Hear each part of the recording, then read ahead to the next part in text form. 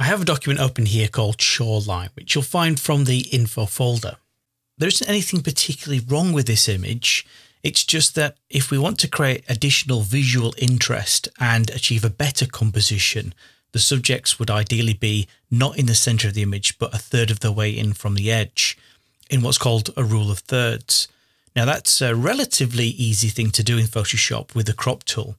So I'll head towards the tools panel and the fifth tool down is the crop tool. Now, if it's not visible, you can click and hold down on that tool with the left mouse button and reveal a pop out of all the other tools that are similar in nature. I'll click on the crop tool. Make sure that the uh, crop itself is set to ratio, which will allow us to be able to alter the width and height as we see fit.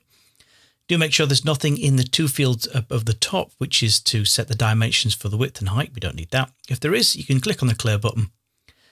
And then under the delete crop pixels, which is a default option, I would suggest turn that off in this scenario. And we can also turn off content aware. I'll go to the grid menu, click and hold down, and then from here choose rule of thirds. Now that grid will not appear until you start dragging across the image. So ideally, I'm going to hover my cursor over the middle left-hand handle of the crop frame. Once I then click and hold down the mouse and keep it held down and drag, you'll see that rule of thirds grid appear. So what we need to do is I'm going to drag across the right hand side and I want that line marking one third of the way into the image from the left hand side to reside just between those two people.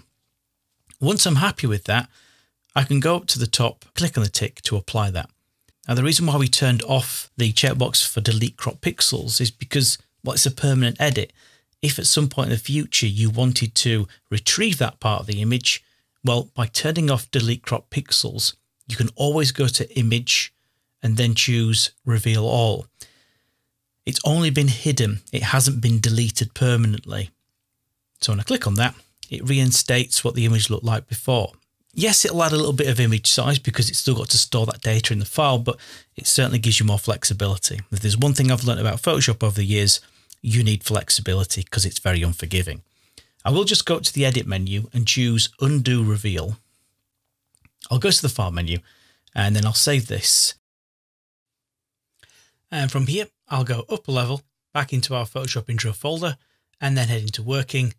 And we have the default file format now of .psd because we've released the original artwork from its background and JPEG files cannot store floating artwork released from their background or more than one layer.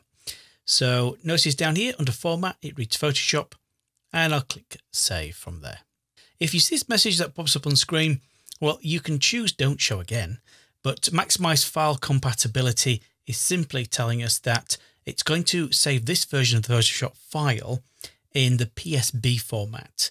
And now that will increase the file size slightly, but it will allow someone in an older version of Photoshop to be able to open up this document in their older version and edit it uh, as they see fit, really.